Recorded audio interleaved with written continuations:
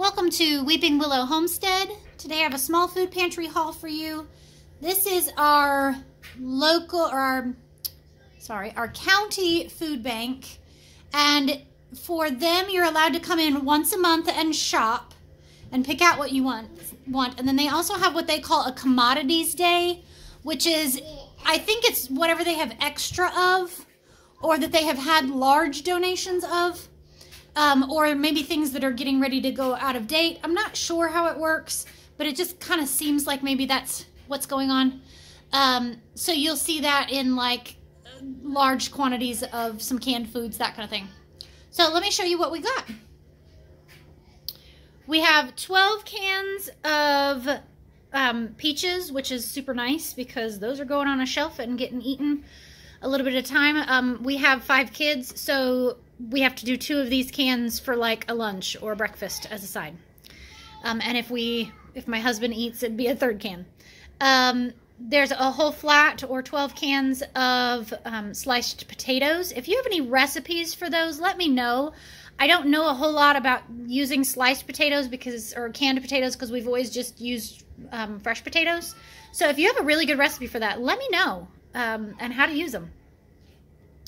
There are four cans of sweet corn, three cans of spaghetti sauce, two cans of asparagus, which I'm excited about. I've never had canned asparagus either, so I'm going to have to look up some recipes for that as well.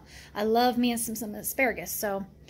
Um, today they had a lady in there that um, was with a local organization that um, took items from that we regularly get at the food pantry and combined them together to make a recipe. And then she had little cups for samples.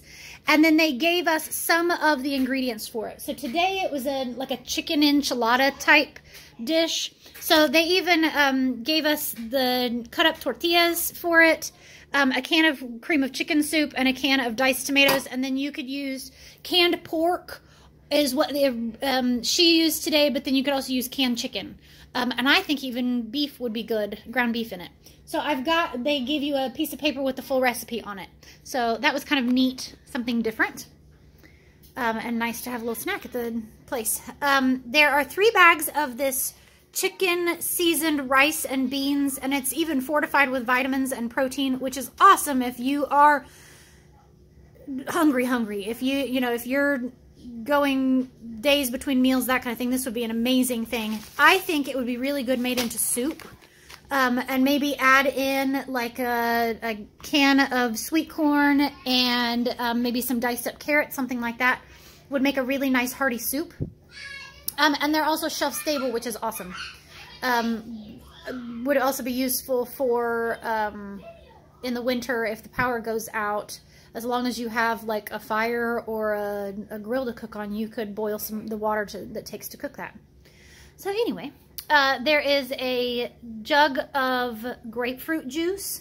Um, there's two things of bread. They have a shelf and you get to pick out two things of bread and one dessert. We skipped on dessert this time.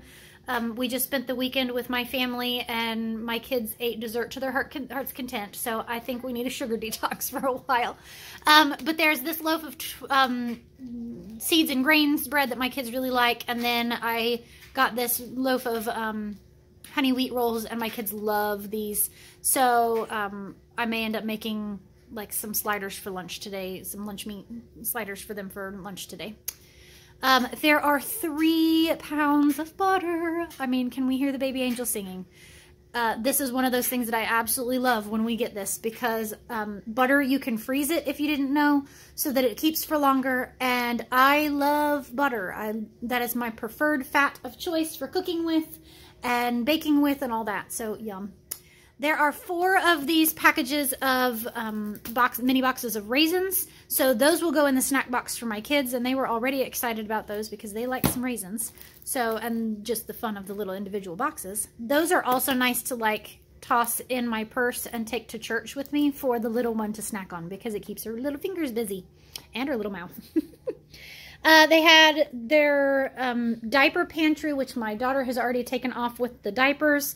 It comes with a, a pack of diapers, and it's usually 10 to 15 diapers, a pack of wipes, um, and then a little kid's book. And then it also has some papers in it with some local resources. On that shelf, they also had several of these things. There was quite a few of these different squeezy flavors, so I picked up some of those. I picked up one of these little jars of um, apple cinnamon oatmeal that I thought my baby would probably enjoy having that as a little snack or treat. And then they had these little baby probiotic drops, so I picked up a box of those. There's also a dozen eggs. These fully cooked sausage or pork patties, I guess not sausage, but pork patties. And then two five pound bags of chicken breasts. And I think, I think these are bone in. Yeah, I think they're bone in skin off. Um, I prefer bone-in skin on just because that adds so much more flavor to it, but I definitely like it with the um, the bone-in because you get juicier meat that way. But having two packages of this is super helpful because this is something that I can pull out even frozen and throw it in my oven and bake it for a couple of hours and it be done and I don't have to have, oh no, I forgot to thaw out meat for dinner. So yeah, that's everything we got. Um, once again, huge blessing. Um, and there's always those favorite items like, oh, I don't think I said the cheese. Um, there's three one pound blocks of cheese as well. So there's always those favorite items like cheese and butter um, because those are expensive. So to get those and the meat, those kind of things are always so helpful. And then, like I said, those canned goods are always so nice because they're shelf stable. They're nice for um, the power's out in the middle of winter and you need to feed kids and you have no way of cooking. So, and those are just nice because they can sit on a shelf for as long as they need to. So, like I said, if you have any recipes using the sliced potatoes, let me know, or the, the canned asparagus, let me know. Um, yeah, because, uh, like I said, I've never used either one of those before, and I would love to know some different ways of using them. So that's everything. Like I said, I hope you have a great day. Goodbye and God bless.